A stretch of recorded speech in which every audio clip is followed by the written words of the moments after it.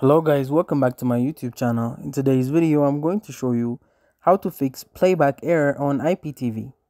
So step 1, check your internet, make sure your Wi-Fi is fast and stable, restart your router or try using a wire connection for a better speed. Step 2, restart your device and up close the IPTV app and reopen it. If that doesn't work, restart your TV, Fire Stick or Android box. Step 3, update or reinstall the app. If your IPTV app is outdated, update it or try reinstalling it. Step 4, try a different player. Go to settings and switch that video player, try VLC or MX player. Step 5, check your IPTV link or server. If you are using an M3U playlist, make sure it's working and not expired. If multiple channels won't load, your IPTV provider may be down, contact them. Final tip, use a VPN. Your ISP might be blocking IPTV, so try VPN to bypass restrictions. And that's it.